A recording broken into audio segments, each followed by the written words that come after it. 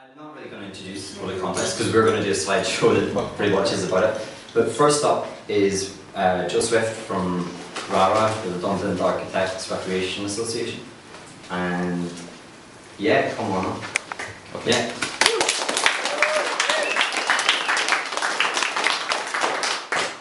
The, the format is he's, he's just got as soon as I click your PDF, Yeah. you've, you've got to just start because it'll roll in 20 seconds. Okay. Um, is that alright? And then we can, I don't know, take questions or whatever afterwards. The Redundant Architects Recreation Association, RARA, is a place for the low-budget creative to come and make their shit happen. Located on the periphery, away from the constraints of the 9 to 5, offering total creative freedom. Our assets, in order of priority, homebrewed a heavenly ale and our sleeping pod, aka the fuck pot.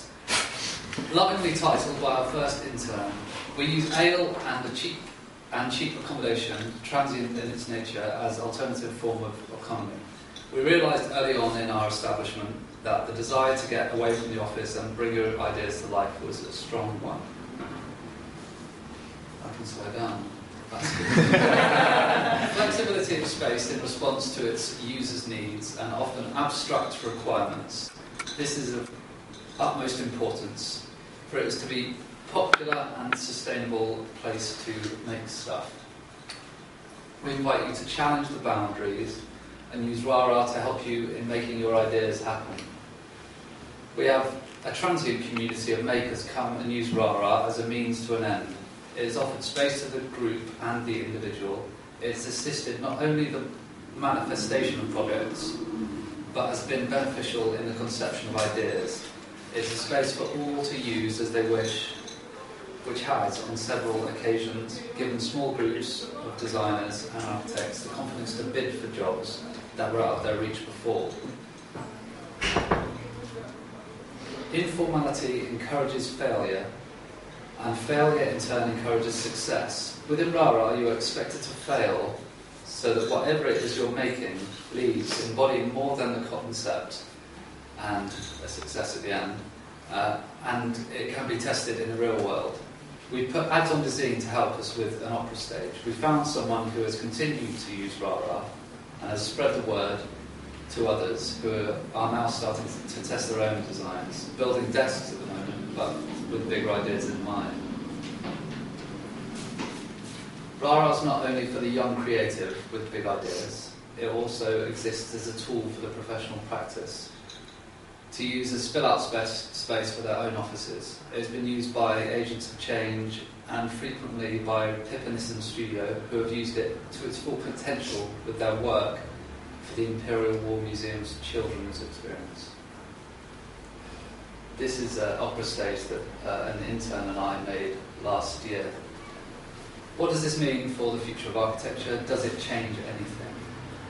The future of architecture, I cannot believe a small place like Rara can change. What we have seen, though, is that there are hundreds of people out there looking to carve their own futures away from the offices and the constraints of the universities and away from the gaze of the RIBA.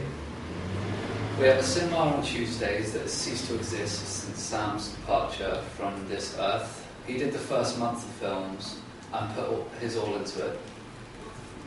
He was always relentless in pursuing the idea of Rara. He always put this at the forefront of his architectural theory and practice. He made Rara, and along with Dan and I, but essentially it was his baby, and it was a testament to, it's a testament to him that it's a, success. Um, we still need to make enough cash to pay the rates and the rent every month. We still need to get people through the door, and this has become a bit of a chore. We never intended to become janitors or landlords, and we're trying to find Rara a safe rock to step on that ain't too slippery and ain't going to encourage us to fall. Every Wednesday, we build boats. To be honest, we are not that good at it. Wednesday nights have become an opportunity for people to drink ale, talk architecture, draw, and make boats. So I'm slightly behind, but this is a competition entry. Well, I'm in front, that's behind. um, Sam designed this, and Dan and I made it through the night with lots of ale, uh, and it was in, uh, it was a light trumpet that showed a shoe at the front of it. Anyway, it's a bit complicated, but it was, it was fun. That's the boat building colony. An idea that we didn't get, we got shortlisted for, and we didn't win the competition, so we just do it anyway on Wednesday night at Rara. And um, we often get a few people down to drink and um, make boats. So the mill. Um, now we found the mill. I talked more about it earlier this week, so I'm sorry to those who missed it. We put an online ad for architects and designers to come to rainy Walthamstow to be part of building a project that lasted only eight weeks. With only five grand to spend on materials, Rara offered the mill a charity formed to get this place going. Free labour in return for their accommodation upstairs. We got 200 applicants and chose seven to do this. We changed it from a redundant library into a functioning community centre, and the Rara recruits did Rara themselves proud. Rock on recruits. Um, that's Richard and Owen, both uh, vital to the building of, of what what's changed the place around. Um, so just briefly, they, they changed the layout of this whole place and built some furniture, made it an interesting place to be. I've talked about the RIBA and the universities. I've yet to fully understand the latter's existence. Um, that's the RIBA, that's the former, sorry. But we'll attempt to next year. I think that there is this bit equality gap between those that have had the opportunity to study for five years and those that haven't. Inequality is a problem. Can the making of, the, of things, of shit, help narrow this gap in our society? Probably not, but RARA is going to be there to attempt to narrow that gap by not diluting its integrity and by trying to create a place where the layperson can become an architect outside and away from the RIBA. Our question on our next adventure is directed at architecture's end users. Can you produce uh, architecture? That's a question to those out there. Probably not most of you guys in here. Um, that's it, that's my 20 slides. I should have shot my head off by now because I think it's up. But thanks for listening.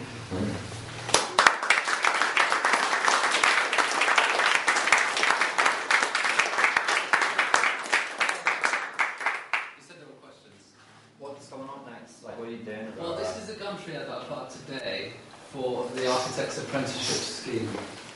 So I've uh, done some feelers uh, aside from this building. This building needs a bit more work, and hopefully we'll be able to do some more work to it. But there are other buildings in the area that require a similar intervention.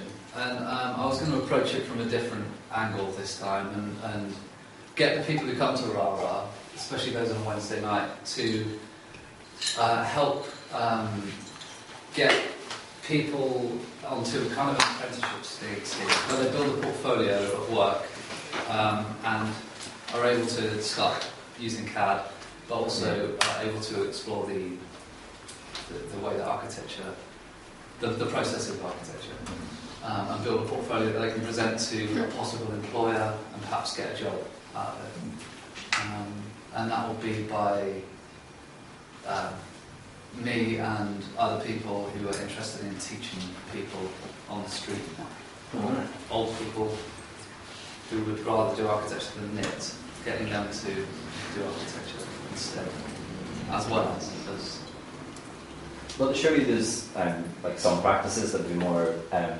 open to taking someone who'd be trained by RARA than others, because it seems to be like a language or a technical,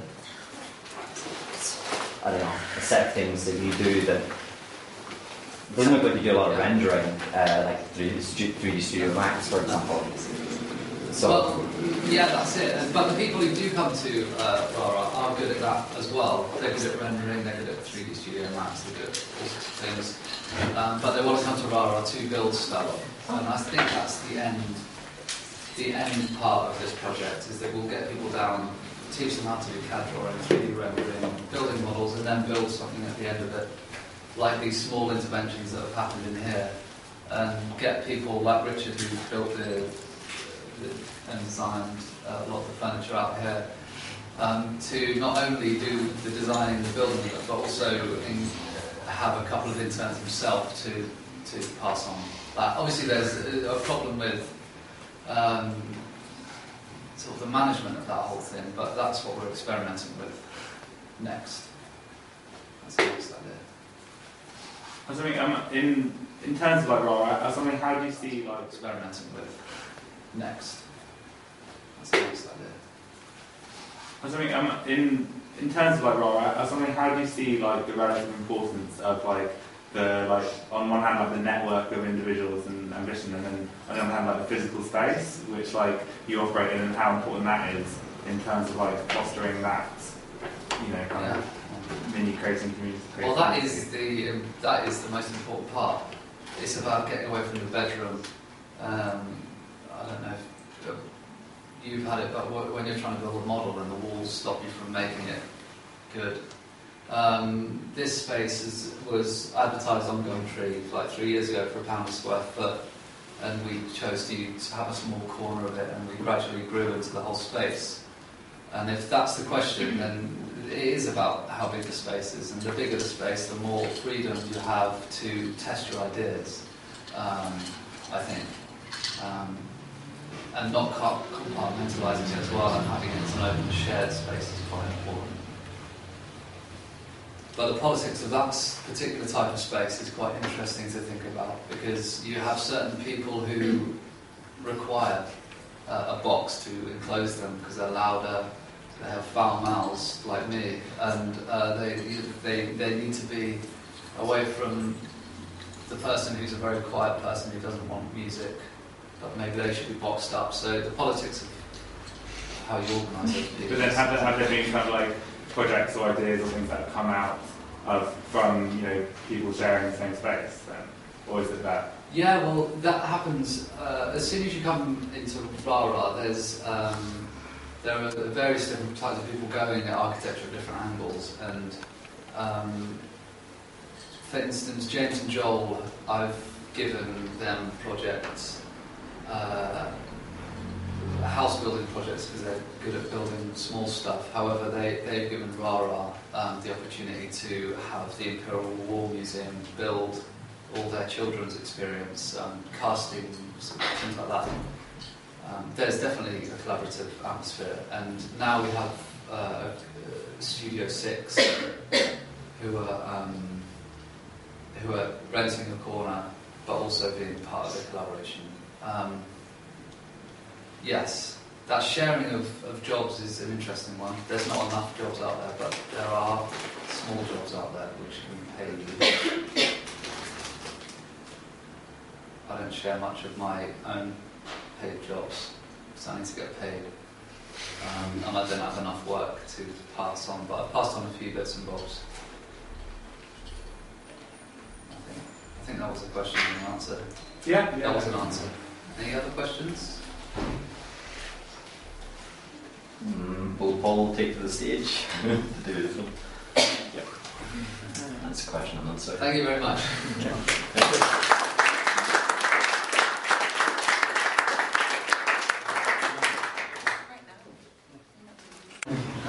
So it goes back to the basics of PechaKucha, where I've worked with Sean before on PechaKucha. And um, it's the idea that you don't actually know what's coming next. So each slide hasn't been seen. I, I haven't seen it. You've it. not seen any of this. I've, I've had a glance, but Zohra's not seen any of this. Um, And it's it's a lot. Of, to set up? Okay. Sean, Okay. So where's that? Where's that? Laura, and This is Pol. um, Pol, and it's, it's less serious than the previous exhibition, the previous PechaKucha. But um, from the ones I've seen Sean do before, it's it's probably going to be quite entertaining. Um,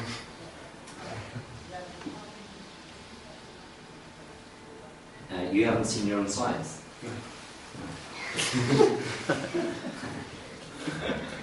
So I, I, I think that's the first caveat. And the second one is we probably won't introduce ourselves very well by our slides. So you can ask us questions afterwards Yeah. about. So are we going? Yeah, that's Uh, So we're Zap Architecture, where um, Zohra and Pol Zap. And um, we've been working quite hard in the last six months, 12 months, on um, student fees and the price, the price of architectural education versus the worth of the architect. Um, so, So yeah, the project started with us looking at um, how much it's starting to cost to study architecture. You can see our receipt graphic on the left. Um, we kind of surveyed um, hundreds of students and then we kind of combined our results with a similar survey that the RIBA are doing. Uh, and the RIBA have now invited us to put on an exhibition of our results, which it, we're doing in collaboration with Sheffield University students. so these are our, our 12 students from Sheffield University who are helping, who we're collaborating with to build this pavilion of protest. That's going to be on in the RIBA. From It's about a frustration about student debt and yeah. so this is me and Zohra pre Zap. Um. Uh, so yeah, we, used, we tried modeling before we entered Zap. Um, it wasn't a successful career. Um, personally, I think Zohra looked better before then. Um, um, This is Pol's mum uh, on wedding day, and uh, yeah, wallpaper and uh, dresses were designed by the Yeah. I think this is where student finance came in. This is my dad used to um, used to freestyle as a Santa every Christmas to bring in funding for the Christmas presents. I guess that's where my preoccupation with funding and money came, into play. Um, this is my family. That's me on the left. Um, yeah. Next slide. Yeah, this is Zohra's ex-boyfriend. She hits him. I love to my mum on the back of the bike. I Zohra, know. Zohra went through a phase of tip-exing him from every photograph. Uh, became Yeah, really- we don't talk about him. became really embarrassing. He's really famous now. He's done well for himself. Um, this, this is my uncle Jonathan. um, but he's a perfect example of people that should never be left with kids. 'cause Kids are quite impressionable. Um, so yeah, my parents never wanted him to spend too much time alone with, with me. Um, Is that you there? but yeah, there's some people who should never have left home with kids. Uh, Same, same shirt and jeans. Some people who should buy new clothes some people who should uh, never be left alone with kids. Um, What's like coming out of the back of you? I watched for a while. Uh, yeah, this photo I find particularly offensive because I don't know why the guy's not wearing any pants. I've, I've no idea. Um, yeah, it's, but architectural drawing in the background. yeah, yeah.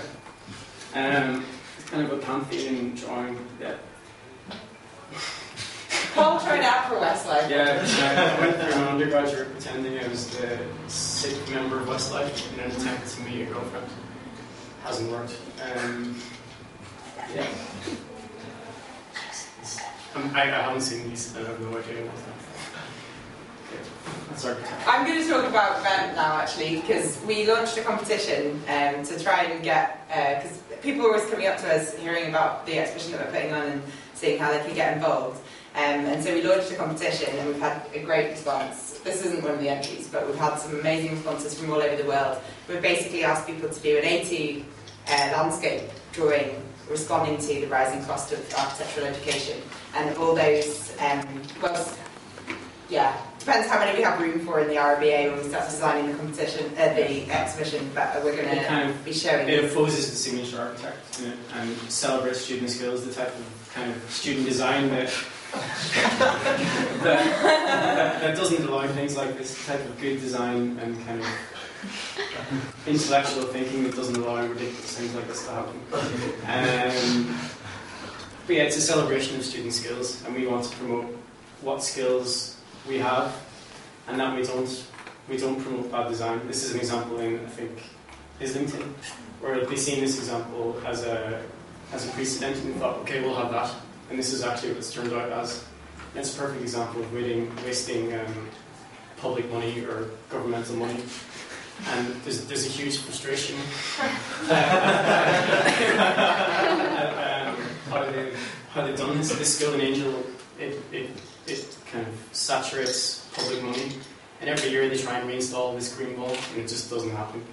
Um, and this is Michael Gove, who's invited to our exhibition because he's someone who said that architects earn too much, that they've been creaming off the top, that they've um, they've monopolised on kind of the public spending of money in design. And um, So, well, he's, yeah, we were at the RIBA Forum in June, we were presenting some of our work in a more serious manner. And uh, we were actually there when Ruth Reed said her famous comment that, um, yeah, the government has told us that there's too many architects. So this is, um, yeah, opened quite an interesting line of debate alongside our exhibition about, you know, are, has RIBA sanctioned too many architecture degrees? You know, does there need to be limited places? uh, based on the previous slide, I think um, what's going to happen is you, you have a virtual class who can enter architecture simply because they can afford it. And that, like, it doesn't mean they'll be designers, it doesn't mean they're good architects for the future, it doesn't mean the built environment in the future will benefit. And they're not necessarily reflecting the um, demographic of the population that they're designing for, which is So the architect will be someone who can afford to study architecture for five, seven years, and not someone who's necessarily a good designer. And this is our exhibition, which happens from the 25th of October to the 17th of November. Um, and we hope that it represents all architecture students and all designers. Yeah, and I'm going to be sitting on the RIBA Education Committee, so if anyone's, I'm supposed to be like the voice of the youth. So if anyone's got any things that they need to say to the RIBA, then uh, please get in touch, uh, like Twitter or just come and speak to me. Is that it? I apologise about this. Yeah, can I?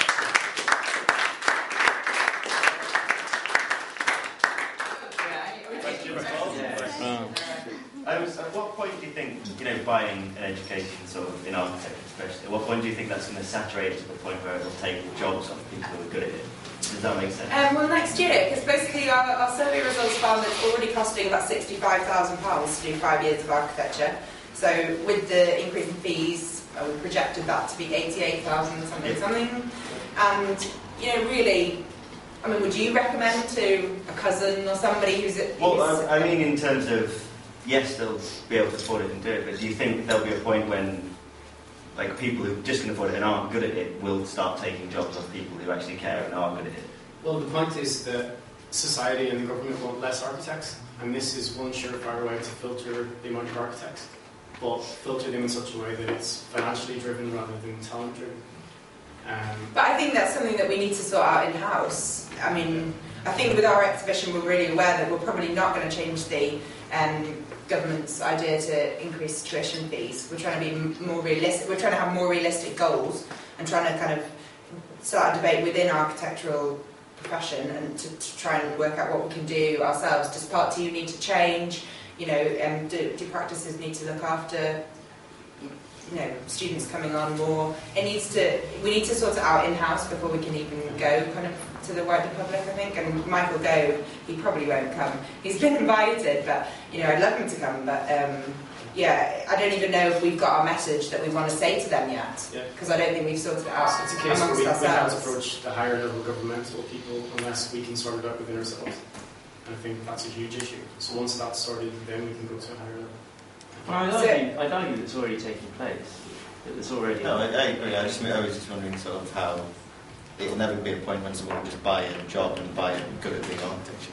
They'll, they'll get No. to buy the first place. But like, with the predicted rise in, in fees for education, it's basically getting closer and closer to what the AA is, which is yeah. that you've got lots of people who are very wealthy who can afford to go somewhere where they have amazing lecturers, and they subsidise a bunch of people who are very, very talented, very few people who are very talented, and that's closer and closer to what the state's offering now. But I suppose that's a whole kind of argument about whether or not you think that this is a kind of, you know, it's basically the opposite to a vicious circle. It's kind of, you know, if, if the people's parents have been able to afford the education and get the better jobs and they've got the more time to spend with their kids or they've got, you know, there's books in the house, whatever, it's always like some, it's just going to increase the divide in society. Some people are going to be able to get on that positive spiral and other people are just going to be, you know, it's just going to be impossible. What is it? Um, I don't know how you went and funded your university career, but I uh, would not have been able to afford the loan that I now have my name on. What happened, I'm sure it's very familiar with everyone, is you get a certain amount of money each year and you don't really notice that that's accumulating. And then at the end of it, you get a lump sum. You don't really notice that you get a lump sum because you pay it off really incrementally. And you say that perhaps uh, this is going to start dividing the rich from the poor, those who can into architecture education because the fees are going up.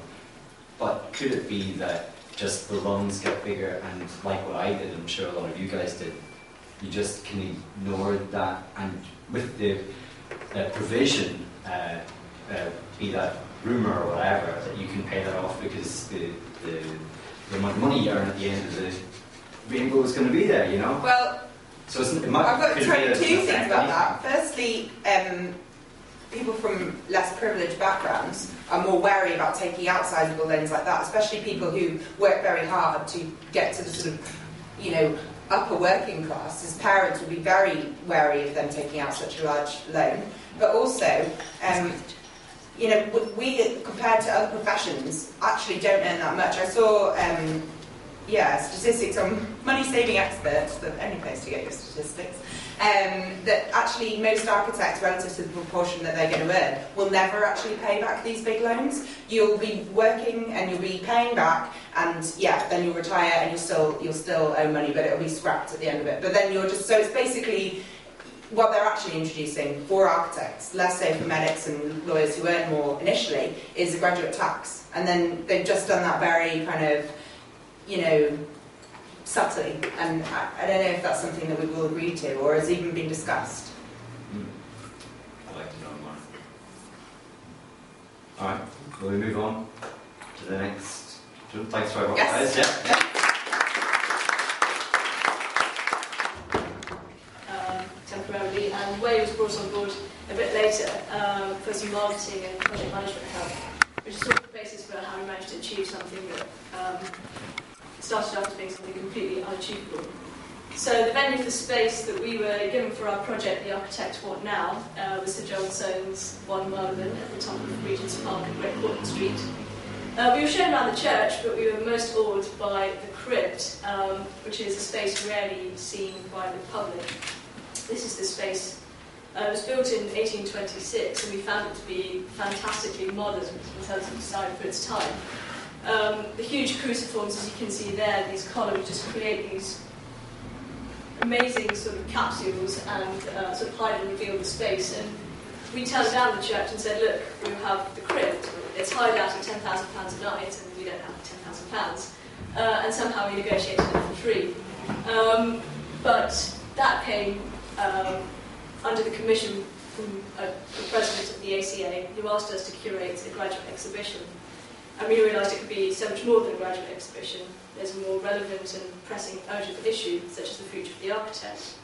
And without financial backing, we were completely reliant on sponsorship. So we curated the exhibitors. This is to work, looking at the architect at the end of time. Um, and we also um, had another Bartlett graduate, and then the postcard initiative, which we came across just completely, or stumbled upon, which was a worldwide initi- initiative asking for architects and aspiring architects to define the architect today, draw it or write it, and the architect in 2051. We got responses from across the world, Singapore, Mexico, Kazakhstan. This is Piers Gough saying, don't employ one at your peril. Um, and we also got responses from Ben van Berkel, Ken Shuttleworth, etc. You may have seen um, floating around space. But in addition to these postcards and the large practices sponsoring us, we were really keen to involve small practices who couldn't give us money but wanted to endorse it. This is a drawing of um, a tiny practice called Gundry and Ducker that we commissioned to design our pop-up hub called the Draftsman's Arms, which they designed using an interpretation of Soane's etchings. Um, and on top of all of this artwork, we also um, decided we wanted physical responses, so we launched an international design competition called Have Your Say. And we weren't expecting many entries, but uh, got some. And the winner was this young architect from Barcelona called Josep Munoz Perez. Um, and he proposed that the only way that we can really get redemption from all of this is to stop and reflect on the origins of architecture. So the main focal point was the debate um, with the art as the backdrop, held on the opening night, with a question time style um, format chaired by Austin Williams with representatives from academia, large practice, small practice, and education. The aim was for it to be streamed on the internet with really propositional outcomes that we could take forward. But unfortunately, it was postponed um, just an hour before it started as the riots were breaking out um, across us. However, interest still grew from at an absolutely overwhelming rate from across the world and in, within the country. Clearly, people were very, very passionate about this issue. Um, we happened to write to schools of architecture saying, you know, can you suggest that a couple of volunteers help us set up? And we were getting CVs, portfolios, people desperate to get involved because they didn't have jobs, but also because they were keen to be at the forefront of this debate. And social media started to take over, and we had to approach this as if it was a business. We used Twitter, Facebook, got media sponsors, learned how to do animations so that it could appear on, on Dezeen, and what would have cost us £15,000, we sort of achieved a, a fifth of the price. And then there was a huge unknown. We had to teach ourselves so much, but also rely on people's word without having a budget. Um, we even had to pull out of um, an arrangement with our technical partners um, and teach ourselves how to wire lighting rigs, sound systems, recording systems, as well as dealing with the Grade 1 listed building, all in the space of a few weeks. So. Um, it wasn't about a hierarchy or architectural po- uh, politics. We wanted to involve everybody, and people felt very, very strongly. We talked to some first years, and they had this naive optimism about the future. Um, then we also talked to large principals, and they were completely oblivious, and they thought everything would be fine in 50 years' time. Then there was also the ones really passionate about our crazy work ethic, the competition out there, as well as our own arrogance. And we started to realise there was also a question of morality. Is it our moral duty to save the profession, and how can we do it collectively? So, despite the riots, over 150 people still came to the opening night uh, wanting to see the debate, and that will happen. Uh, but in the meantime, we're also working on smaller projects. We're taking the exhibition and the debate to Stockholm um, next year and also to Barcelona. We're also collaborating with our new friend Zap. Um, and we're hopefully going to have a charter for change, bringing together what Zap's doing, the fantastic work at the RIBA, and our work with the profession, the education. And we're hopefully going to have what's going to be called Education Charter, Charter for change. Change. Right, yes. On the 15th of November at the RIBA, we're inviting everybody to come along uh, on some sort of soapbox speaker's corner style, have a rant, make some really positive suggestions, but have this charter, this really concrete um, uh, sort of list of suggestions and um, and really sort of measurable actions that we can all take forward, all sign up to, and start to bring a change and not just rant about it. Spoke far too quickly, but yes, that's it.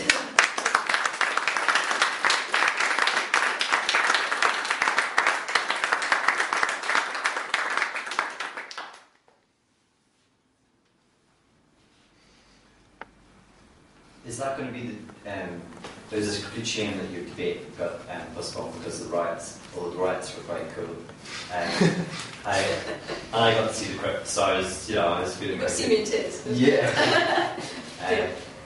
yeah, it's a white shame. But is the so is the education charter um, debate? Is that going to be the the follow on from this? Um, it's a follow-on. The debate will still happen. Yeah. Um, we were very fortunate to get this absolutely amazing space, um, and what we're trying to do now is find a venue that's neutral, and we're in talks with a few venues to help us host it. The problems we had was that we got given a dry hire space, effectively um, no lights, very poor uh, electrical outlets, um, and nothing else. We had to do everything ourselves. So we're looking for a space that can have all of that, a PA system, something to help us. Um, and we're not rushing it, because I think what we found was that our ambitions got higher and higher as interest got higher and higher. And it was almost as if we needed to take a step back, but time was getting better of us. So now we're really enjoying the fact that um, people are still getting in touch. Um, we're working with a university um, in Ireland and some PhD students over there are helping us with our postcards and they're filling them in and then also using them for their research. So we're collecting more and more and more so that when we have the debate, it's almost in its own right an event in its own. And um, the project with ZAP will, will definitely feed into that, but it can also stand on its own.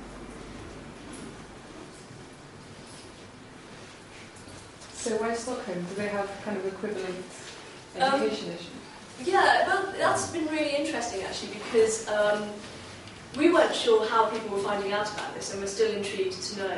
Um, our website crashed as soon as our animation went up onto Dezeen, but at the same time, people were tweeting and Um, you know, uh, we don't know how they found out, but we basically got a call from a tutor at um, a university in Stockholm who was really keen about the relevance of the architecture world here and there.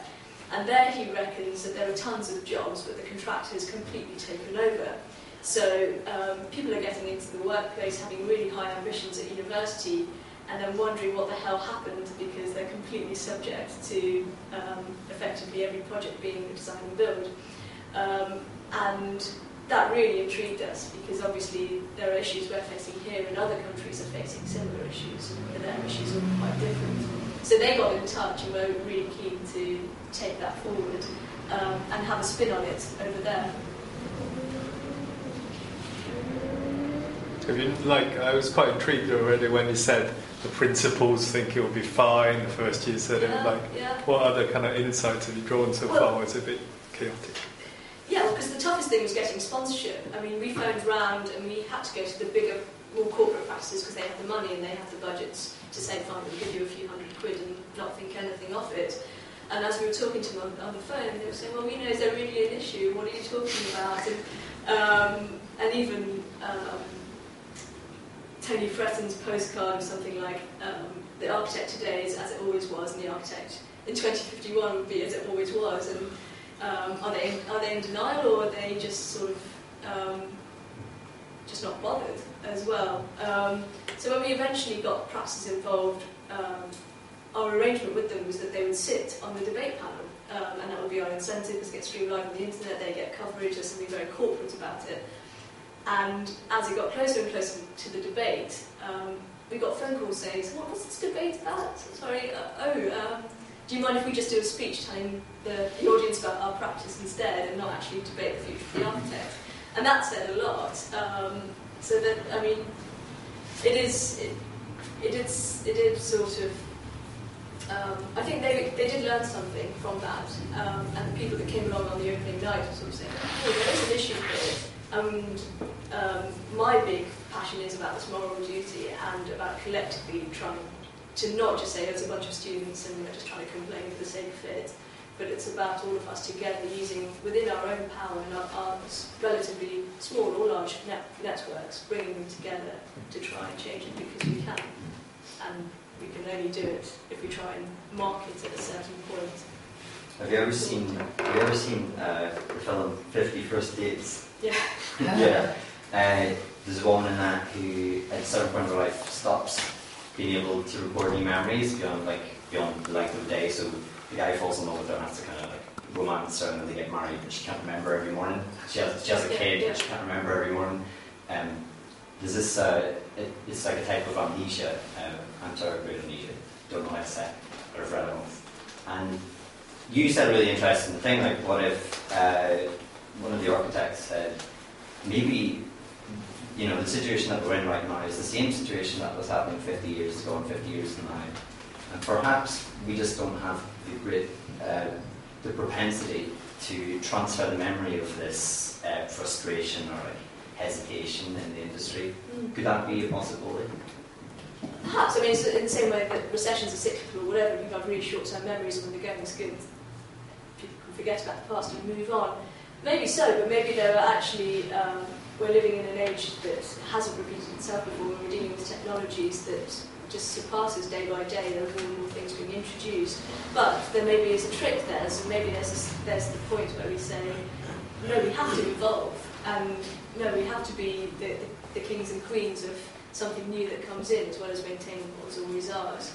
And it's about maybe identifying that um, and championing it because we can. And we're still always going to be the only people in the construction industry that are so talented in a number of different, of the different areas involved in the industry.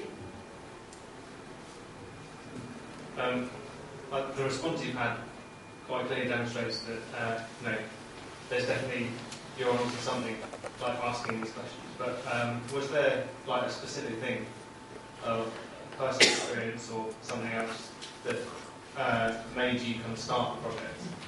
Or like, Um, I think, it, yeah, there was. Um, I, I spent the entire part of my part one romanticising about my future, and um, had people from uh, my school. I did a, an exhibition there about careers in creative industries, and um, got a school friend here which to see. But um, and it was all great. I was all sort of promoting architecture, and then after my part one, as, as I was starting part two, and as all of these conversations were starting to come up, um, my ne- next door neighbour knocked on the door and said, "Look, my brother wants to study architecture. Can you talk to him?" And I thought, "Shit, um, I don't even know if I can actually actively promote him starting an architectural education right now." Um, and it's, it's quite a sad thought. Um, and I don't want it to be that way, personally. Um, and fine, there are certain things we can't change. So we know there's, like Zohra said, the fees aren't going to change. So how can we get around that? How can we um, ensure that we're not accused of certain things um, and we don't just limit ourselves um, and say, oh no, this is what's going to happen, and just watch it happen? Because the more we think about it, about what's going to happen, it's going to happen, unless we think otherwise and positively otherwise. There was there was one of my tutors who who, this discussion came up a lot, and it was about the construction industry taking over a lot of the design, a lot of it is dealt with out, and we're almost the client to these people. And he sort of was putting forward the suggestion, well, instead of trying to change architecture, we should just go into like dissolve ourselves in and do it from the inside. Do you think sort of you know this arrogance of the architect is very evident?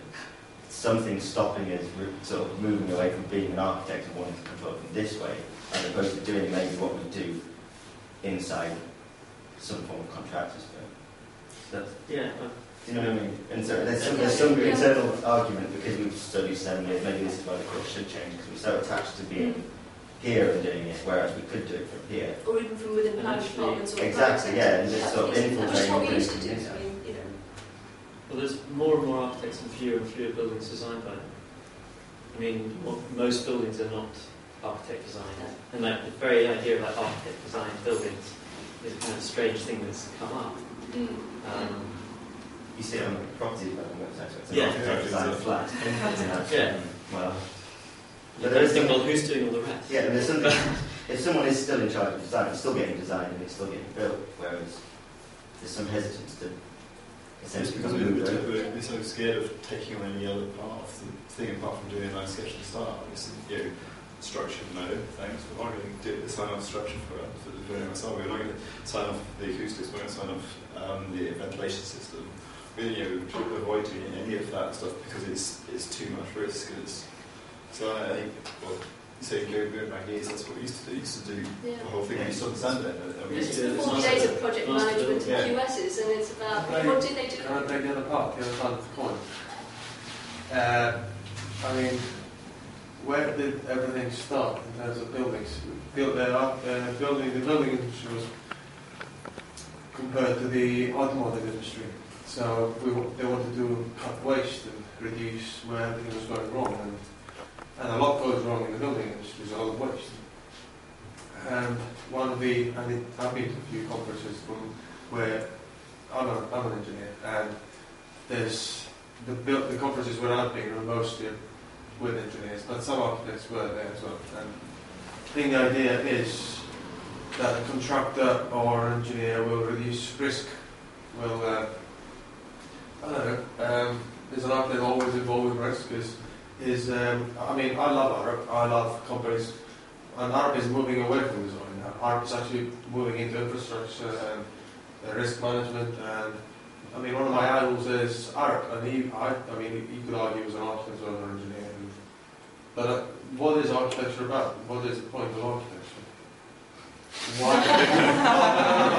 I'm, I'm here not because I want to challenge the point of architecture. I'm just saying, what does, what do the architects want? What do we want from architecture? And what do they want from?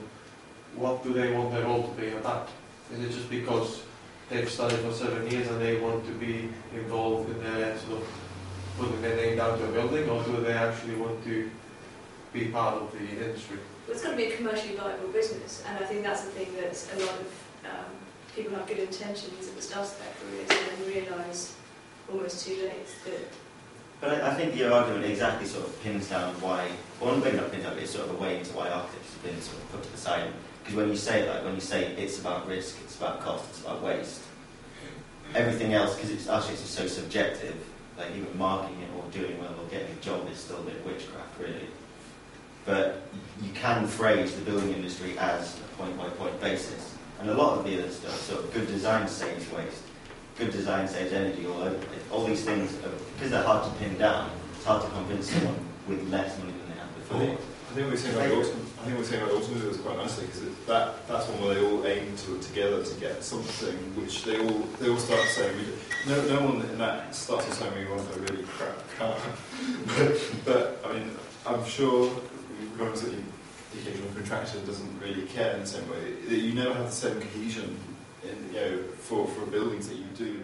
We work for whole Rick Development.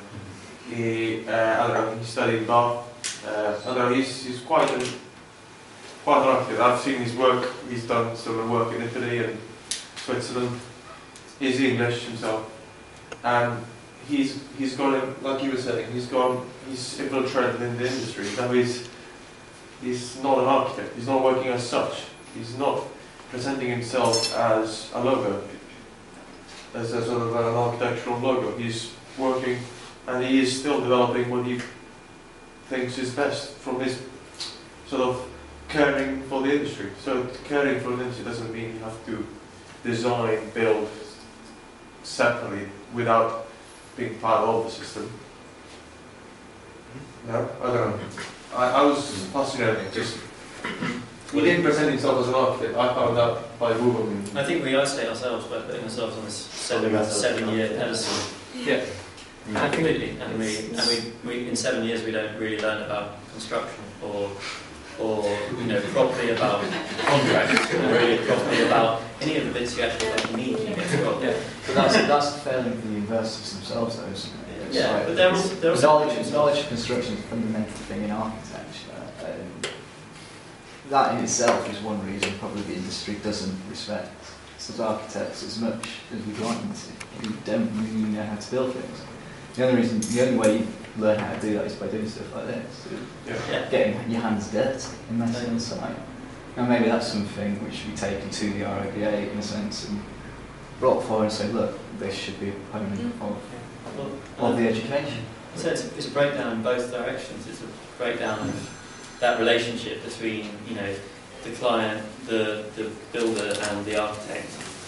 And, you know, the architects don't have any faith in the building industry, um, which for fairly good reason in this country, and the building industry's got no faith in the architects because they don't know what they're doing with construction. So it's like- Doesn't that a lot of that inadequacy come from the person? Because it's quite easy to blame the universities, but we say we could do their job, their job, their job. Well, why aren't we doing it? There's an inherent, Oh, no. there's an inherent shyness among our. Sorry, I might, I might have missed your point. But there's an inherent shyness among architects to do other things because you've studied for seven years, so therefore you're going to be an architect. Whereas, whereas someone who studies law for three years, four years, they won't be. They won't necessarily become a lawyer. They will branch into various disciplines and use their skills among other disciplines. So there's, there's an almost uh, very much a, a chicken aspect to architects where you've studied for seven years, so you have to become an architect. It's, it's what you love, and, and I think you can apply those skills to many things, but it takes quite a brave student or graduate to branch into those things. But it's also because you completely been following the parts one, two, three, whatever, parts one and two criteria, you can't choose your modules, etc. It's drilled into you from day one, and that's the route. And Yeah, sorry, I think I went Mr. missed. No, no, no, I don't think you did. I. Well, I think that works nicely from dissolving the architectural profession to dissolving the architecture education. Mm. That's our cue to start. We've got to keep moving on. Are we, we present? Yeah, for let's that? go, yeah. Right.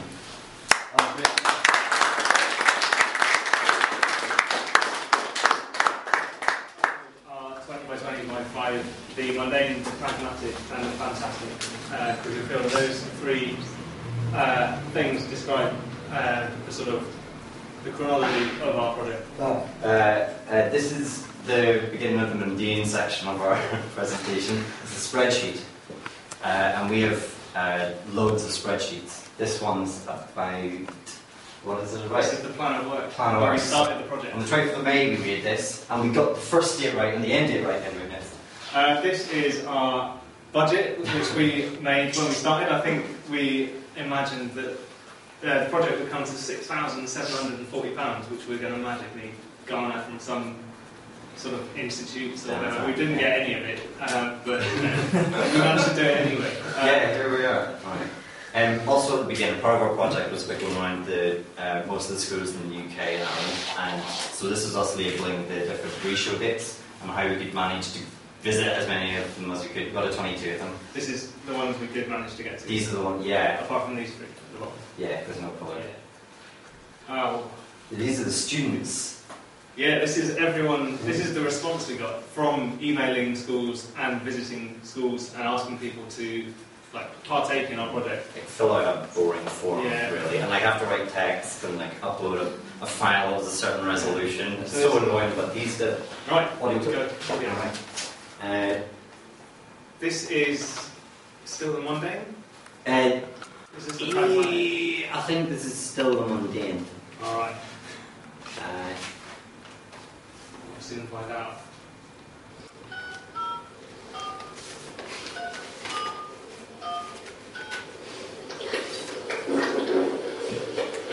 Welcome to Job Centre Plus, Department for Work and Pensions. Please be aware that if you are calling from a mobile or a non-BT landline, you will be charged for the rate set by your service provider. Thank you to an operator. Discussion. Alright. Next. Alright. Okay, uh, pragmatic. Uh, we had to send a lot of emails and we had to receive approximately double the amount of emails that we sent. So this is the, all the emails we counted them today, all the emails that we sent to make the project happen.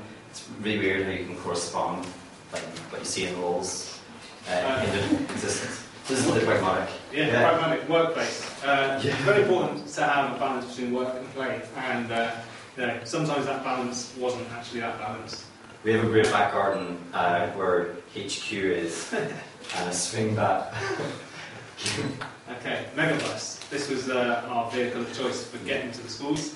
Uh, it was interesting, you know, some of them were quite good, well air conditioned, uh, some of them were particularly smelly. This one decided to break down on the way to Cardiff, uh, hence we were about two and a half, three hours late, missed the thing and had to stay and all sort of thing.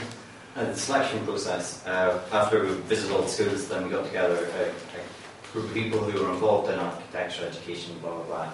Um, and we met up at Reboot very kindly gave us a room to hold this selection process. They selected the work that's on the walls here, and students who are here. This is the transcript of that selection process. There's 18,500 words there. Uh, the team of us use Google Docs to make. Yeah, we won't read it all to you. But it's Yeah, epic. Two Yeah. hours and 40 minutes? Yeah, two and a half hours of Yeah. talking there. Yeah. Yeah, and that is what uh, it actually costs to, to do all that, everything that we had to do So far. so far. But Uh, we're driving to Sheffield on Sunday, and the gas isn't involved in that, so it'll start to pump up a wee bit more. yeah, we might hit the three-figure mark. So we did, we did that the first week. Yeah. Th- This is the bus route that our, um, our good project illustrator drew, um, going around the different universities. She made it like some sort of Yeah, Lord of the so this is the fantastic, by the way. This is Oh, like, yeah. this is actually one of the best things about it was Yeah. getting to go to all the schools, Mm. uh, getting to meet all the students and see all these different cities that otherwise we probably wouldn't have gone to. And One of the other best things is all the friends that we've made along the way. Uh, uh, the, the different groups that are involved, there's obvious overlap and linking between some of the most topical uh, and current uh, pop-up groups or just current groups or new groups, and so we love that. We think that's one of the best things about this whole thing. Yeah. By the time. Uh, people as well. You know, we've worked with a great uh, range of people. Uh, you know, not all of them have we've been able to get drawn by our illustrator, so we have to do some. Some role illustration. Yeah, not going to name them, but Yeah. our project illustrator drew those. Uh, Forum, another fantastic uh, range of people. Yeah. The, that's the, the 21 people that we selected from all those people that submitted. People that are on whose work is on display and who have been working with us on sort of you know getting everything up and going and you know doing being really active and Yeah. One of the best things about the project has been the events that we've held this week. It just makes it all real, all real. you know, uh, you work, you saw the emails, you saw the transcriptions, all very abstract, but having people come along, you guys come along tonight is, and having the discussion, like just what we've been having, is so enriching, so. Mm. This is the book. Uh, it doesn't exist yet, but it's on the way. Uh, as you can see by the various drafts that we've got in our superseded folder. Uh, we're going to have that ready, sort of hopefully by the time we're done moving around the country. You know, that will sort of bring everything together at the end. Yeah. And so next up, we're, we're moving the exhibition to Sheffield. Like I said, this is not the van, but it looks like the van. it looks like the van that we're getting. Uh, these are planks that we used to make this bad boy down at the uh, Bartlett uh, workshop, which kindly let us use their place. Um, along this, this whole barter system that we'll be using. I think this is the last slide. That's it, yeah. So that was, uh, was it mundane, pragmatic, and fantastic. Yeah, fantastic, yeah. it's been all of those things, I think. Yeah, it's been all those. And Manic, but we didn't have any slides. Right.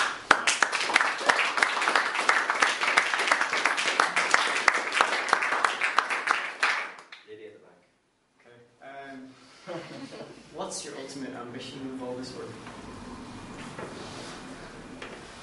Okay, uh, we are a research project, and our ultimate ambition is you know, stepping on your toes, Alison, maybe stepping on your toes as well, uh, Zap guys, but we're trying to raise questions or at least reflect what's on our minds or what's on the collective conscience, at least in architecture, architecture education, people in transition, like in, in, in this place. So it's kind of a punctuation. We want to make a mark. So is it a commentary or proposing a solution?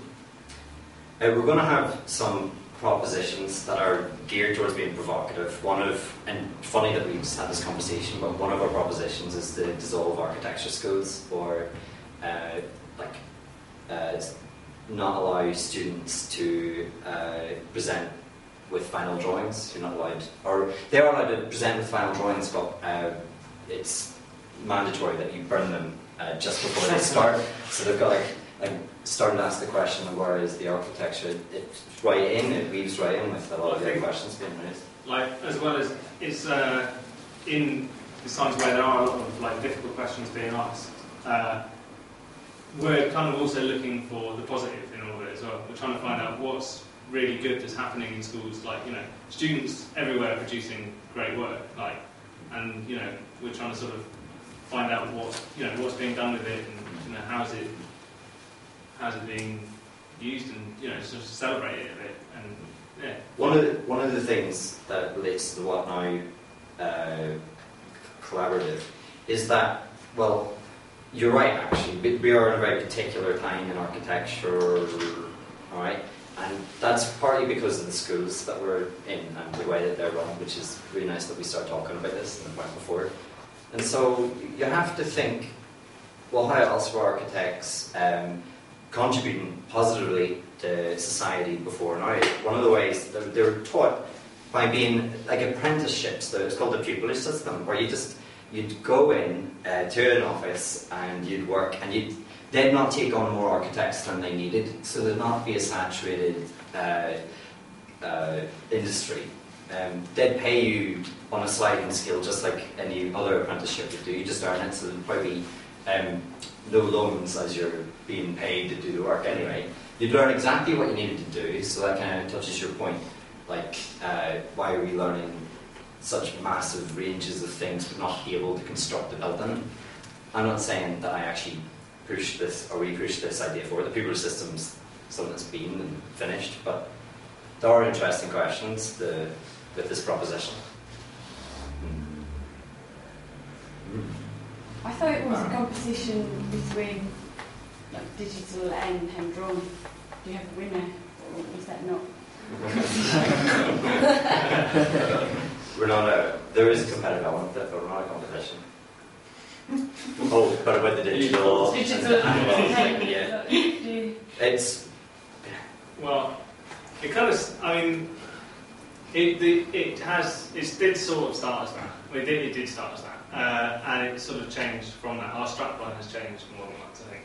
Uh, and that was our original kind of thing that we were looking at. Uh, but I think we realised then we were just more interested in looking at drawings um, and kind of what they mean uh, in relation to education, and you know, and that by looking specifically at drawing by hand and drawing by computer, uh, we were missing out on a whole bunch of other interesting things that we could be looking at, like how many students are there in a unit per tutor, per like saw or like tool or computer or whatever, like you know facilities and things that are available to students. And in, when we were going around the schools looking at all the drawings, we were looking, we were finding out things about that kind of thing that we weren't, we didn't go there to look at for them. We were going there to look at the, at the drawings, but then we were talking to people and we started noticing all these other things that were really interesting as well. Hmm. And in doing that, we kind of changed our focus from away from that to as a sort of more general looking at. Well, I think in the argument we were talking about sort of how much it costs to actually get into architecture and doing it. Have you seen sort of, I guess you, because you went around so many, did you notice just from what you were choosing or whether, whether, whether it was anything to do with how much the universities had spent on the actual course? Because I know there's a lot of, different- you talk about the size of workshops, like actually being able to do some of the stuff in one school would be impossible in another. And from the selection, like, was it evident that the money is an issue in actual people producing this kind of work? I think there are a lot more dimensions than just the money or the or the kind of subdivision Well, or facilities, operation of would budget. say? Right. So we, yes, part of the book that is coming out um, is a report and it looks at the factors that at least we observed affecting our uh, architecture education or like your e- education. One of the real obvious examples would be Bath has an adjoining engineering school and doesn't have an art school connected to it. It says a couple of things. One, they probably don't have a print studio. They don't have people who know how to print uh, without a studio. They do know how to test concrete and bricks, you know, and stress those things. But they also have a lot more technical ideas. And that doesn't preach on everything, but that does start to maneuver that school of architecture in a certain direction. Different schools that do have art schools right beside them, in fact, even integrated with them. Let's look at the RCA. Uh, they've got multidisciplinary, interactive elements, loads of like new material forming wax, blah blah blah, and they've got crazy. Um, here's here's a 3D printer that a guy made, but as an example, that's um, does, that begins to answer your question. There are other factors that we're going to totally highlight, or yeah, in the book. Do you think it's one of the things you bring up when you meet someone else from a different school? Mm-hmm. Or when you see with sort of in Sheffield, it's pretty dire in terms of production value, as it were, or actually mm-hmm. making something cast in concrete or that moves and stuff. But I guess, did you find that it sort of affected how sort of the schools were teaching them or how students were actually doing? Or, I think it Is- affected or, just, or just as one example, so going back to the handle on the computer, there's no sort of mad parametric thing around, Yeah. which is quite telling. Or it's just because you don't like it. Both. I, that we just didn't find, uh, you know, engaging parametric drawings. Actually, we Well, we expected didn't to get have given them. Yeah. We, we put out an open call for submissions, and uh, you know, the response largely shaped what's on the walls today. You know, like uh, you know, there prob- there might well be plenty of amazing, like mental parametric drawings or whatever, like There, or there was a other couple types from of the drawings. Barbara like- that we got, yeah. but they just weren't shortlisted by the selection panel.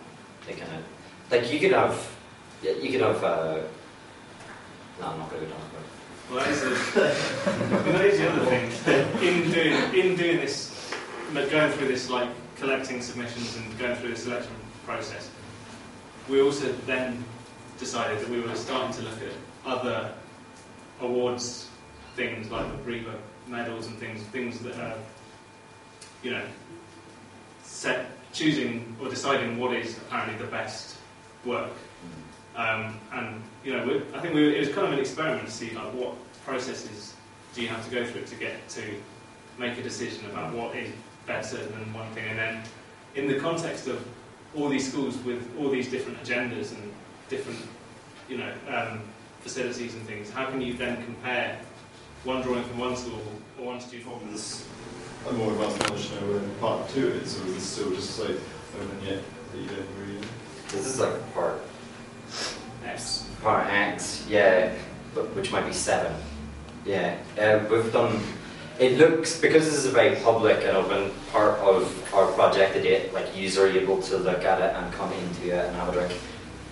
That looks like this is an it, but it this is just like another. But it's a very special week. But it's like another week for us, um, where yeah. Does that kind of answer your question? But I mean, like next year, are we going to do something? Well, Um, what were we before then? Because it's a whole year, isn't it? I don't know. Well, I'm interested in this education charter, and like I'm big on that. I like not having to repeat myself, and I don't really think that you, your projects, want to say the same things or come to the same conclusions that we are. Obviously, we can help each other if if there's common ground. So that's probably the next thing. But yeah. I would but maybe try and score a job out of it somehow. job centre plus, like, in, yeah. Hmm. Yeah. All right.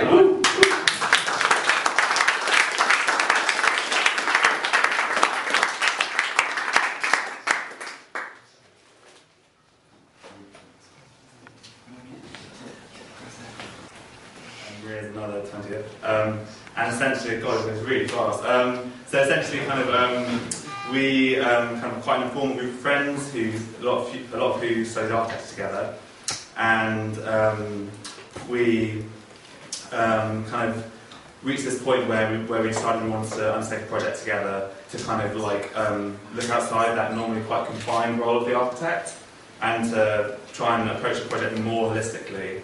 And so it started kind of, is this really 20 seconds? Is But- that 10 seconds? Is that right? Seems quicker, doesn't it? Yeah, can I just like We can uh, check it, yeah. slide by slide actually? Yeah. You're wasting valuable seconds here. Ten. Yeah. All right. Do you want the, the rest there? Yeah, let's go like Yeah. from here. Yeah. Um, so we started without a like, client uh, brief, budget or site, um, but we got really interested in this kind of multitude of petrol stations in London because like to look at one piece of disused automobile infrastructure could kind of suggest use for, for all the other replicas throughout the city. Um, so kind of as a result of the recession and with kind of quite a friendly developer, like three months later, kind of turned into this, which is a, a cinema which lasted for, for four weeks. Um, which was kind of like, I don't know how familiar people are with the project, it's kind of right on Clerkenwell Road, this kind of main arterial road through London. And um, so part of the, the ambition behind the project was to look at kind of these um, individual pieces of kind of cinematic iconography and remake them with whatever materials we had at hand. So here's an example of like the, the classic red velvet flip-up cinema seat, which was remade with scaffolding boards and through a process of trial and error broken down into a, kind of a manual for making so that um, that that kind of involvement in the enjoyment of construction could be shared with kind of as broad a group as possible as people. And so, you know, people dropped it by for kind of a few hours or, or, or the whole kind of three weeks. And there was kind of a yeah, kind of a base level involvement which everyone could take part in. Um, and so, next slide. Yeah, this is it at night. It's meant to see. Um, and um, so yeah, kind of. Um, can't really remember what I was going to say over this, but um, but I guess like one of the the, the the kind of interesting dynamics in the project was that relationship between the, the that kind of very involved private experience of being inside the auditorium and this kind of public spectacle of it on the street, and so one of that um, kind of separated only by the kind of the very thin thickness of, of this kind of roofing underlay which we remade as a curtain um, there's kind of these two parallel um, kind of worlds coexisting. And then at the end of the, the film, um, kind of when the end came up, the, um, the curtain would rise up and the kind of suspension of disbelief would end and you're kind of back there, kind of out in the, in the middle of the road. And um, hopefully you should see what it looks like in a second. And, um, and so, I, I don't know, yeah, that kind of kind of reclaiming something which was built to service the automobile as something which can instead be a, a, a, a public space.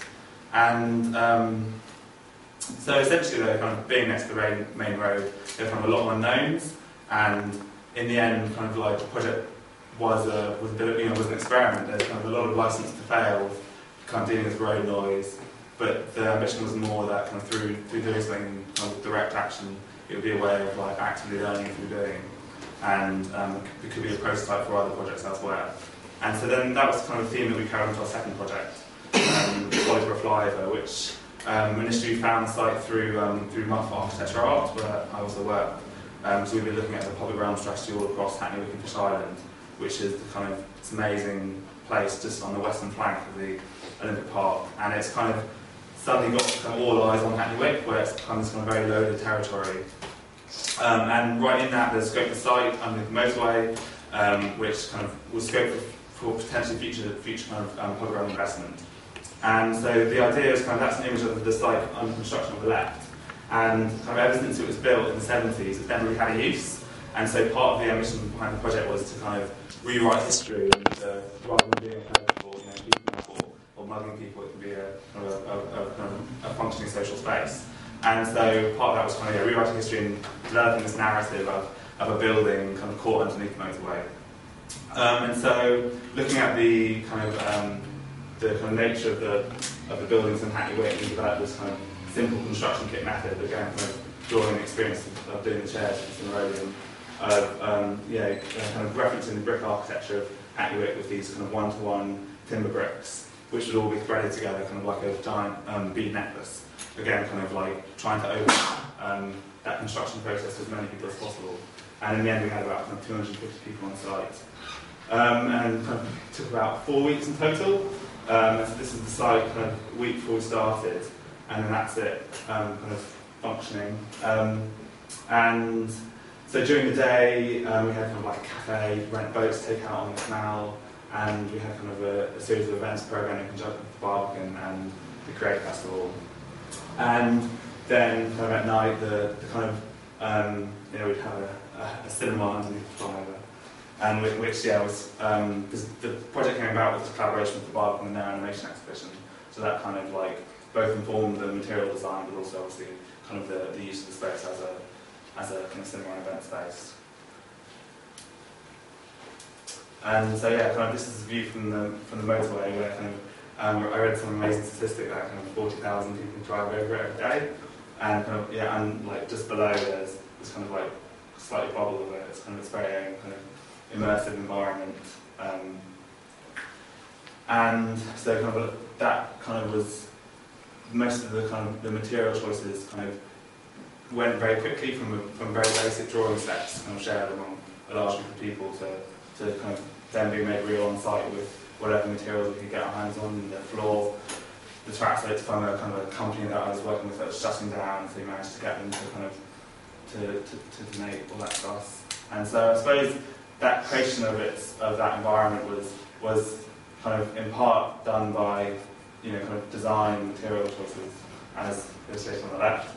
Um, but also, kind of more importantly, probably it was through the kind of active involvement in the kind of the use and the activation of the space, and often the the kind of um, the kind of biggest impetus for people to come onto the site and see what's going on was that was that site of another person having a good time. Um, and so this is an image of the site a year before we started. Um, the site slightly slightly comical. Um, and then kind of that image on the right, I suppose at that point, you know, would have seemed unimaginable that, that it would be a place where, um, you know, like families might take their kids. Um, I suppose um, with the Cineroleum, it was kind of like that kind of the being temporary allowed us kind of a freedom to, to experiment and, and like, you know, we didn't have to fill in a lot of forms, we could just kind of do it. Um, whereas Whereas in this instance, kind of because of the kind of how loaded the territory was with the kind of TFL overhead, British Waterways, Hackney Parks owning the land, the Park next door, we had to go through kind of so much administration and everything that ended up being kind of like the same level of work you would do to, to design a permanent building. Um, which is a bit of a frustration, but in a way it's like the I think probably the most useful thing then um, of it of it kind of being temporary was that it was kind of like able to evidence something to to to kind of fund, funding authorities and and a kind of resident local council, which otherwise kind of would be totally like beyond conceivable. um, that you, yeah, somewhere you take like a three-year-old kid to like play with wooden bricks. Um, and so now, um, kind of off the, on the back of the success of the project, um, we're working with, with muf to, to deliver permanent kind of um, improvements to the space, including like provision of water and power and resurfacing, and we're also scoping the kind of long-term development of it and the like um, reclaiming space from Hackney Council, and so it being managed by a, a community management trust, and the materials we're um, working with Gainsborough Primary School to build lots of little plants and pepper in their playground. Um, and that's it.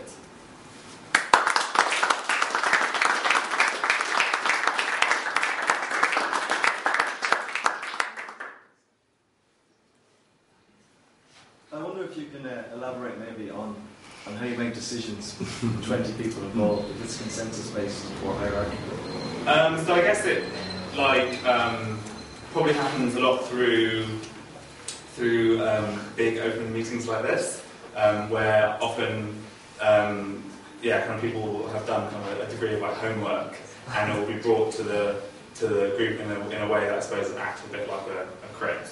Um, and so I think like, it's been like in a way it's, it's, it's kind of like an amazing resource of like having a lot of like time and people, and that's been something that we've been able to utilise like through developing these like quite labour intensive construction processes that are, are, able to work within kind of confined budgets.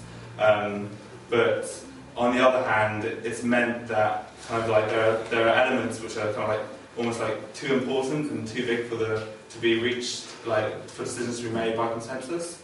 And I suppose like a good example of that is the is the actual like elevation of the building, um, where it's like it ended up just being just kind of like going up as the bricks came on site, and like rather than like earlier ideas about you know kind of like being able to kind of like cleverly play with the the, you know the different kind of uh, like wood stocks and like their their weathering or whatever to, to maybe you know make it look really well on the outside and inside. It's kind of this amazing bright interior whatever. Like all those kinds of things we just like it was just impractical to to like collectively draw an elevation.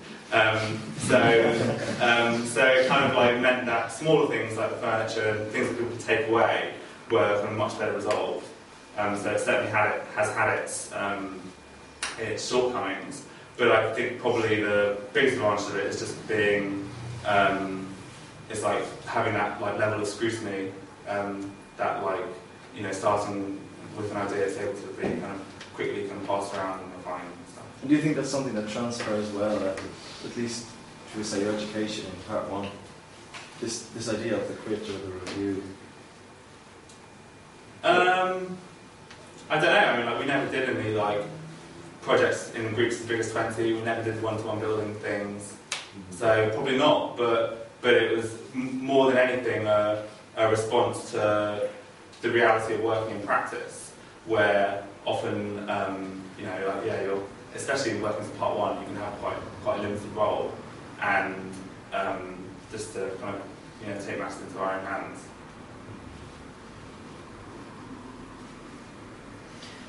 I just want to say that I love both of the projects. just congratulate you because they've been really inspiring.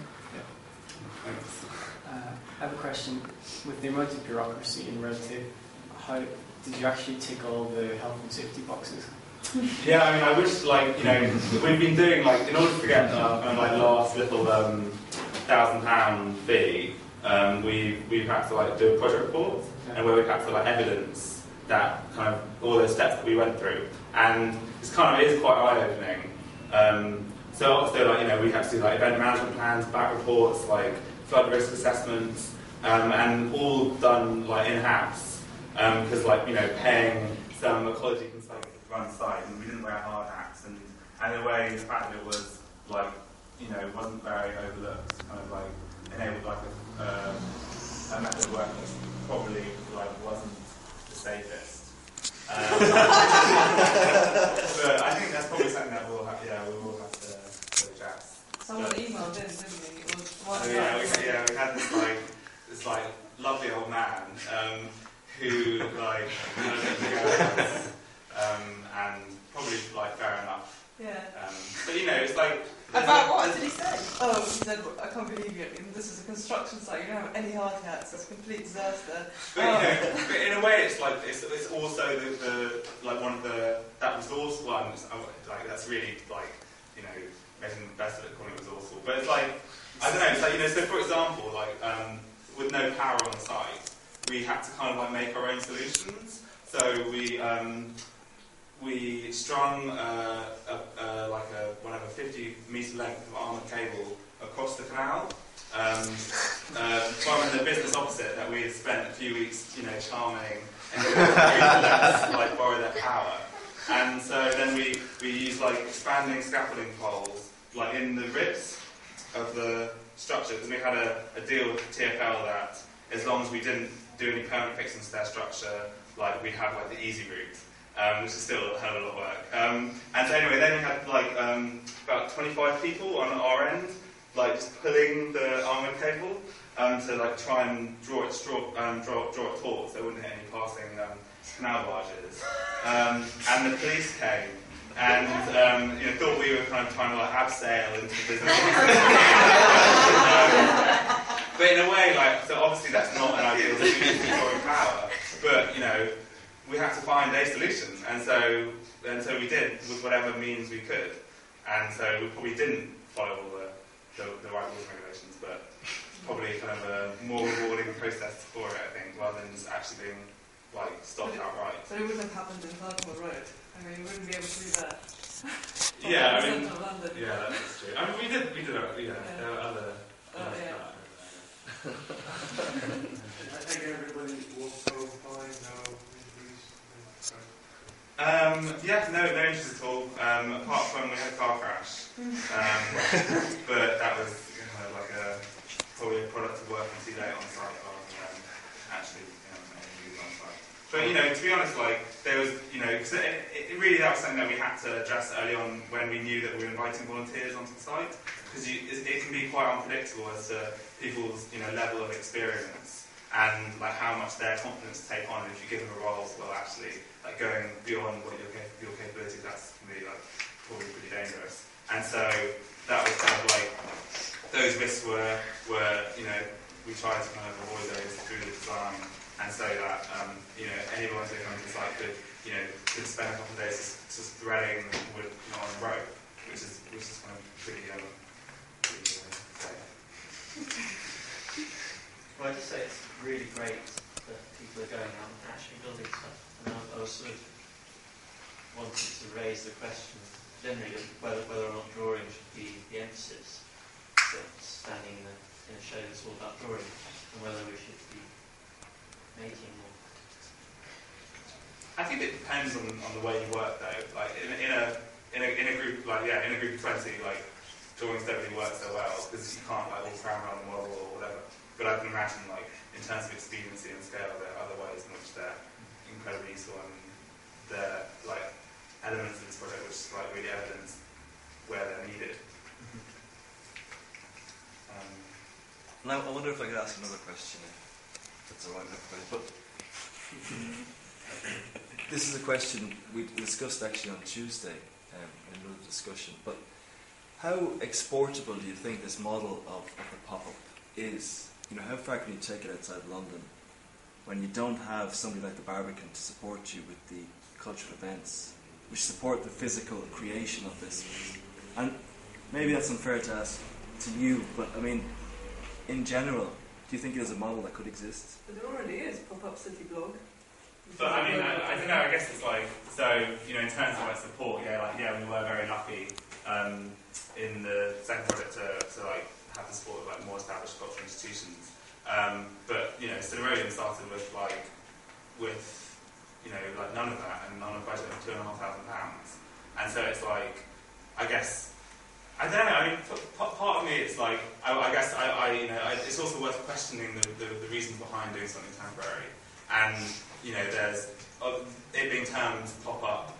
You know, it becomes a commodity, which I think um, a, a, like a lot of what went into these projects was actually about a process and the methodology, and just that being by virtue of being temporary, allowed a certain type of freedom. Um, so, I mean, I'm sure in other situations, like there are other ways of doing it because in a way like being able to run these as kind of like mini businesses or something, you know, where you like buy a ticket, buy a drink, we're able to like feedback and, and subsidise them. But that, that in a way tailor them towards to you meant you know you're constrained because you have to make a certain type of environment. Um, whereas I think it, you know now looking at kind of like what we'd like to do after having done these two projects, you know, it's kind of like I suppose it's more interesting looking at other models. Um, So you resist the term pop-up, would you? um, I like. I think like obviously. I don't know. I guess probably like. It's yeah. I don't know. I, I, people can call it what they want, you know. And you can read into it however you want. And um, I suppose the like the um, the thing at the essence of pop-up, which is nice, is that it's like and something that we tried really hard to do with Cineroleum was just that like in deciding kind of what on earth this petrol station should be was that it's um, that it should be something which is has a, has a broader public audience than that of, of architects. And you know, where we're building kind of a viewing platform, like which is a, you know onto like the roof of the canopy, that might excite some readers of AJ or something, but it doesn't have the ability to draw to bring people in to, to you know this this kind of new space from a of broader walks of life. And so that's something that kind of like is nice about that whole pop-up um, phenomenon. Is that kind of like it's a way of engaging with a, with a, a different type And of also, you know, if you look at the pop-up city blog, whatever, it's basically, you know, it's people looking at things which are happening without people realising it's pop-up. It's just people doing stuff and then other people criticising it or reviewing it or calling it whatever they want to call it. So maybe, you know, it's like, I mean, I, I can see it. There's a lot of ways of reading it. I mean, like, maybe on one hand, it's like there's always been like a culture of like you know out, short-term out, or outdoor events in the in the summer. You know, like Wimbledon or Glyndebourne or whatever. Crystal Palace. and it's like you know. you know, it's just maybe it's, maybe it's just that these these types of events are moving more into the city rather than being out, you know, in a field in um, you know wherever.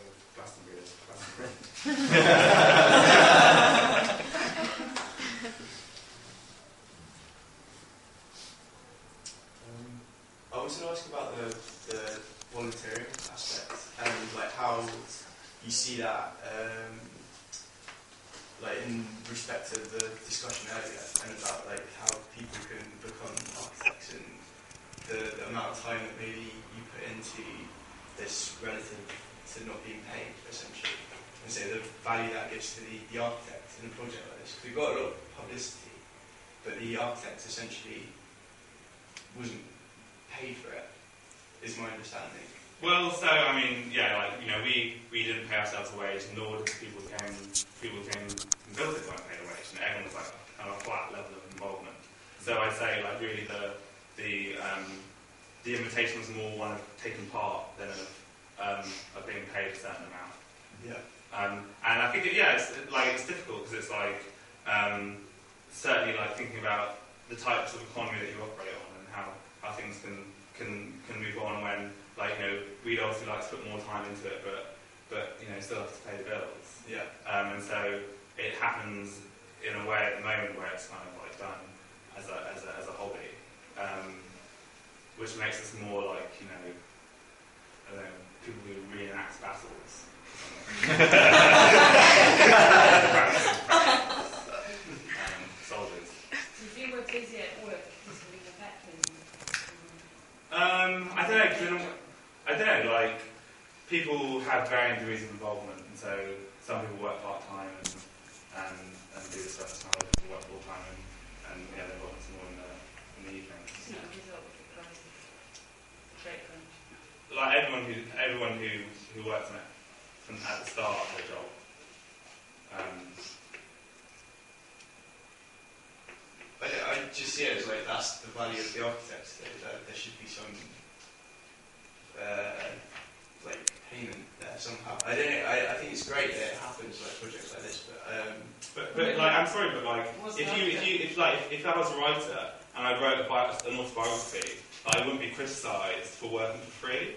You know, it's more. I'm not. I'm not criticising you. But it- I'm trying to say. All I'm trying to say is that there's there's there's a that's there's some sort of commodity there that you're you're giving people, and I, I think it's great that it's like it's free, but I, don't- I don't see it sort of de- it does devalue like the profession in a way. I see But then, you're, but then you're very much, you know, compartmentalising it. You're saying this is built by architects, whereas if, you, you know, there's like your garden shed is not, you know, it's built by you in your free time. It's just this is public. You know, like why can't you do this outside of the office? It's like, yeah, just just like writing or I don't know, cycling or. But isn't it also that, like you don't you don't need a order for this to happen. The, the, the idea of a redundant or a disused petrol station comes from people who want to do things and they want to see these spaces and they see the potential and they make it happen. They're not waiting to be sort of commissioned and paid and have the laborious. But you're right in terms of it does cause problem because people then expect you to come and do this for free. I mean, we have had requests for like kind of vague budgetless things, but then I don't know. Yeah, I, I'm not trying to say it's right or wrong. Just, but I think I, I don't know. Somehow it's like a it's a question that's often posed to us, which was never like it was somehow just like seems so at odds with the the reason why how the projects came about. Mm. Um, it it's always like it's always just like slightly frustrating.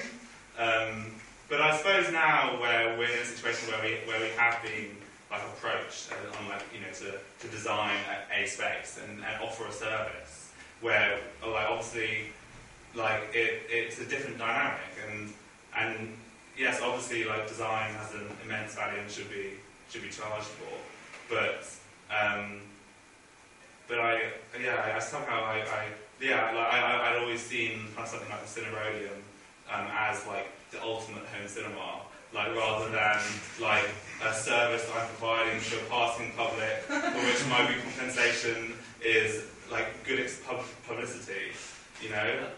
Could you feel yourself changing between the first one and the second one? Was there, was there an attitude shift when it became you weren't the client anymore, you were just doing it, and then you were still doing the same thing, but there But was this- a client involved, and so the next So, so, so in a way, it's like like like um, the Cineroleum uh, didn't happen in isolation.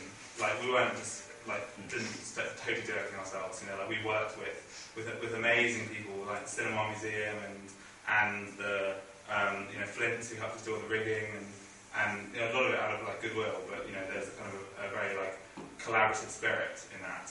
And for the second project, in a way, it was you know it was it, it kind of felt like more a continuation of that rather than you know like we had we had the idea for the project before we applied for the fund. And in a way like we were always kind of a few steps ahead of the the, the, the people funding the project.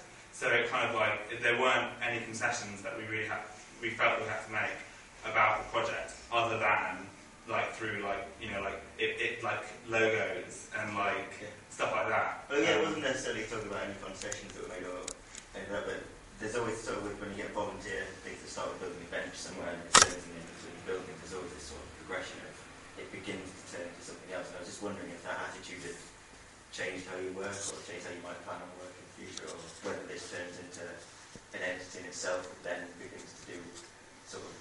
I think you know. I think there's there's like a very clear understanding of like of the the, the you know the, way the reasons why the projects have been successful, and a lot of that is about you know having this huge pool of, of, of people kind of being involved, and that um, you know like any kind of transition towards kind of like um, you know in a way that so kind of keeping it in a situation where we're volunteers as well has always made that much like much more you know much easier to, to deal with and it hasn't felt like we've had to cross any boundaries where like where where we're paying ourselves but at some point there's like a, a cut off and everyone below that point is working for free or for experience or as an intern.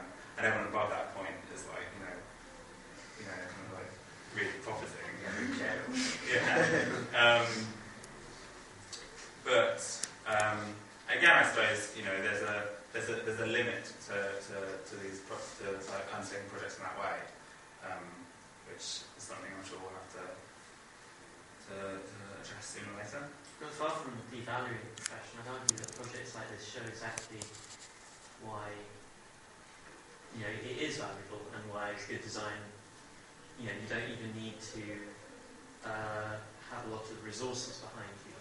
But you know, I know I'm not making myself very clear, but I think it is making architects popular and architects and people that they and architects can, then can show them to make it simple and easy for so yeah, and I mean you could you could pay someone to make a cinema under a flyover, but they probably wouldn't do it as well as a bunch of architects did it, and you'd have to pay them.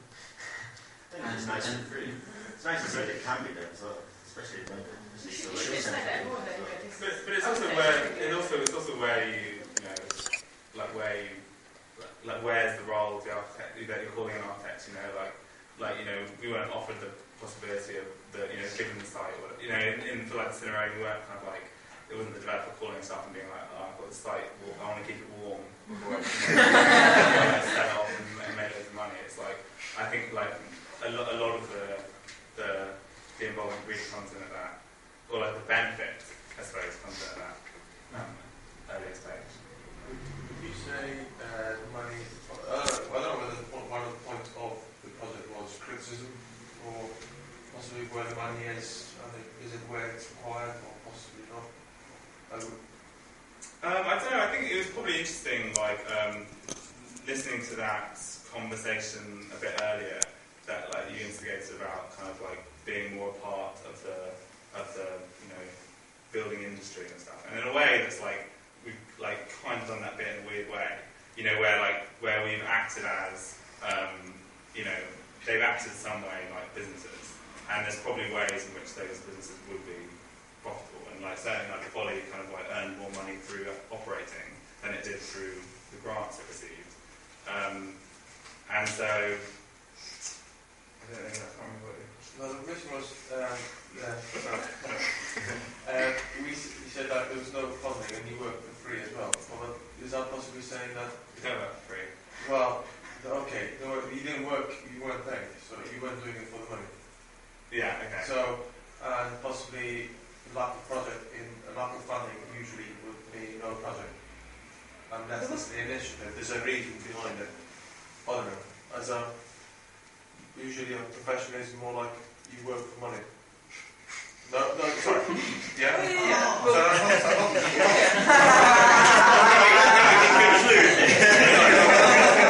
my point was my point was the fact that you did this. What does that mean for the role of the architecture of architects as a profession? You did this without the incentive of getting paid for it. So the people who did it did it without the incentive of getting paid for it. What is my, my question is whether that was a criticism towards where the funding is going. Whether projects like, projects like these mean something like that or not. Like, Sorry, my, it's not really clear question.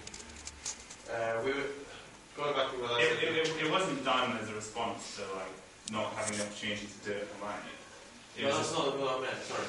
Um, it's more like a criticism towards the fact that there's no funding for for any kind of any any of this kind of project or any uh, any anything which is possibly outside of the commercial uh, uh, realm. So you have the Tesco's or the Asda's who are happy to invest on mixed residential blocks or anything, and possibly the bespoke architectural project is less valued. I think like um, more than it being conceived as like a bespoke architectural object or whatever, you know, like the ambition was more as a form of like you know like empowerment in terms of like being able to affect your your like, your physical environment, and that um, that is not just you know for for someone you know working in an office or working in the LDA or whoever to to, to do to do those major decisions, but that anyone can do it, you know. But I think that's probably I suppose that in a, in a way that's a yes, but it's also a no. Yeah. I think um, what you said was really interesting. You, you demonstrated, I mean, this is basically design and build done by architects, and um, you're demonstrating all the skills from designing something, finding a problem, finding a solution, designing something, getting the materials, and discovering problems with materials, and getting to a really good product. And what you said, probably if it was a developer behind it, it wouldn't have been done as well. And it demonstrates I don't know, for me, in essence, what an architect is, it should do, it should be able to. I don't know, because it's like, you know, like social enterprise businesses can make money, but you just have to be twice as good a businessman, mm-hmm. like, to make it work. And, you know, and like, the developments and all sorts of things can be designed well, but it's just got to be like the. But they don't have the architect doing it. They don't have, I don't know, they don't It's- have, they don't, they don't have the, I don't know, if I make, okay, this wasn't about money anymore. It was more about coming back to the, to. It's to not like one or the other. It's like showing again why Yeah, why we developments need do still, why, why developments would still be better if an architect was involved. And this is a demonstration of what an architect can offer. I think you go back to your point Yeah, about creative. Gove, it's quite a good, you showing that you can do a good design which doesn't cost the earth. Not only should be anything we do for Go should be free, but you could do a decent school design and we have value to add for that stuff. So you can take that sort of stuff to him and say, look what we can do. It's, it's like it's not even like cost was very cheap to produce, but like the, the architectural value I think like I, personally I don't know it's very hard to judge, but it's is high. So there should be some way of determining that. You of see it as the, the the architect's important in this project for its success, like the, the materials and the cost in that sense. And that you're being approached now to do, to do more projects and probably being able to be paid for it. I don't know. Shows, shows, shows the value of your work. And regardless if you've been paid or not, I don't, I don't care. I think it's a, it's, um, it, it's, it's a, um, experiment or a way to show what skills you actually do have as an architect and that they are not just Ingrid, who's the building manager, is a volunteer and she's just like, she's meant to close up about 20 minutes ago. But she's been very kindly, I think she's actually interested in the chat we've had, so that's why she hasn't like punched me in the back of the head. Um, but how about, uh, how about we like wrap up? And I'd like to say that that was fantastic. The chat that was had between the groups was uh, it raised such interest in the chat, and we've got it as evidence now. So, um, uh, yeah, that's good. Thank you. You better get tran- transcribing now. Um, That's the one name. Yeah. I hope we use it. anyway, thanks so much, everyone.